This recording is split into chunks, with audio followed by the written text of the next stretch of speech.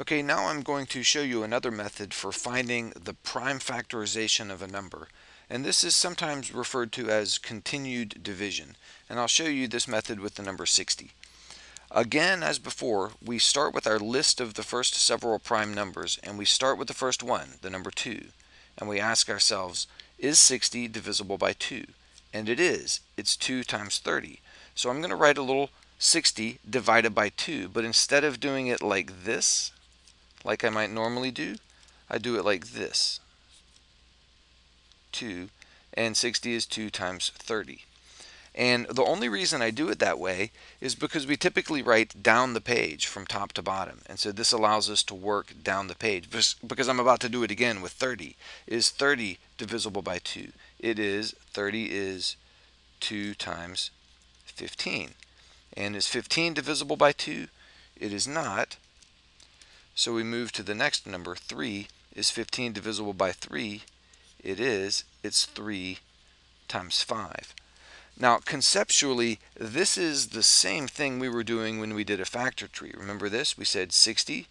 Is it divisible by 2? And it is. It's 2 times 30. Instead of writing the 2 and the 30 here and here, we just have it written here and here. And then the 30 is divisible by 2 and 15, it's 2 times 15, so we would have done 2 times 15. This is conceptually the same thing as the factor tree. It just takes up a lot less space on the page, and so in, in a lot of cases it's more convenient for that reason. And the result is if you're systematic, starting with a 2 and going down going down this list, the result is all of the prime factors in order. 2 times 2 times 3 times 5 is the prime factorization of 60. And I'll show you another example, same one we did earlier, um, example 90. Find the prime factorization of 90. Okay, again, we start with 2. Is 90 divisible by 2? Mm-hmm. 2 times 45. Is 45 divisible by 2? It's not. So we go to the next number, the 3. 45 is divisible by 3. It's 3 times 15. And 15 is divisible by 3. It's 3 times 5. And 5 is prime, so we're done.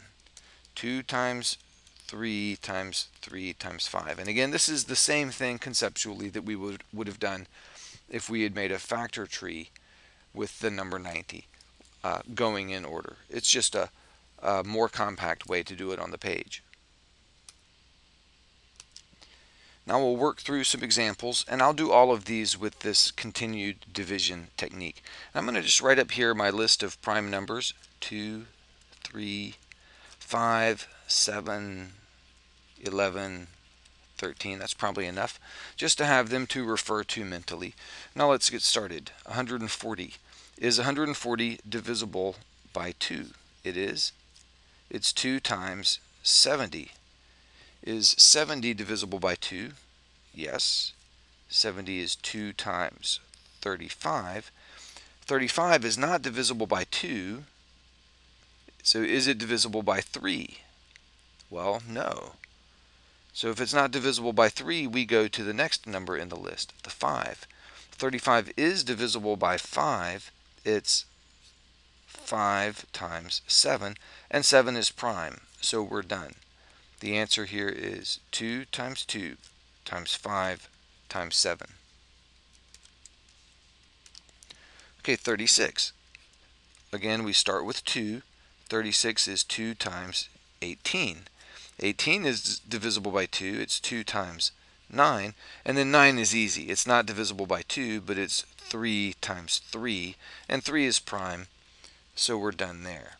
And we, these, are, these numbers give us our answer. 2 times 2 times 3 times 3.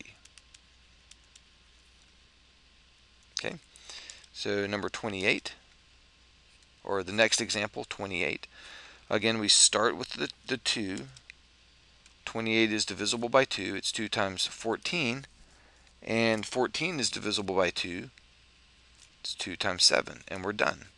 So the answer is 2 times 2 times 7.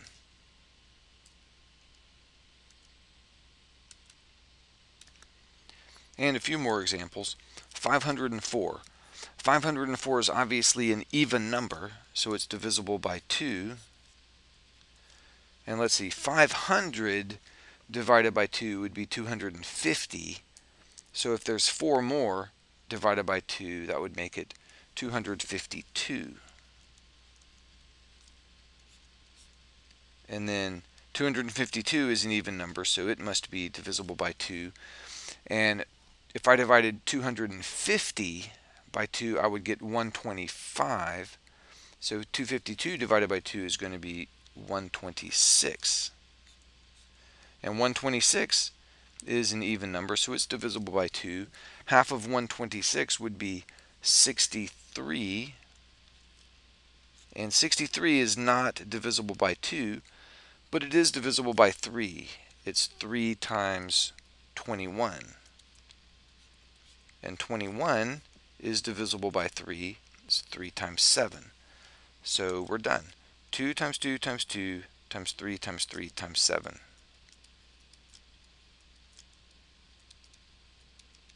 And if you wanted to, you could write that as 2 cubed times 3 squared times 7. Okay, let's look at number 24, or the next example, which is find the prime factorization of 24. This one's easy. Smaller numbers are typically easy. Uh, 24 is 2 times 12, and 12 is 2 times 6. And 6 is 2 times 3, and that's it. So 2 times 2 times 2 times 3, or 2 cubed times 3. Okay, 1,000. Find the prime factorization of 1,000. And don't be intimidated because this is a big number. These numbers get small really fast when you start dividing. See, 1,000 is even. You divide it by 2 and you get 500. And 500 is also divisible by 2. That gives you 250. 250 is divisible by 2. That gives you 125.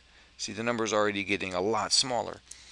Now, 125 is not divisible by 2, and it's also not divisible by 3, but it is divisible by 5. If it's not divisible by 3, we just go to the next number in the list, the 5. And 125 is 5 times 25. And 25, you can probably see real quickly, is divisible by 5, and it's 5 times 5. So this is our answer. 2 times 2 times 2 times 5 times 5 times 5.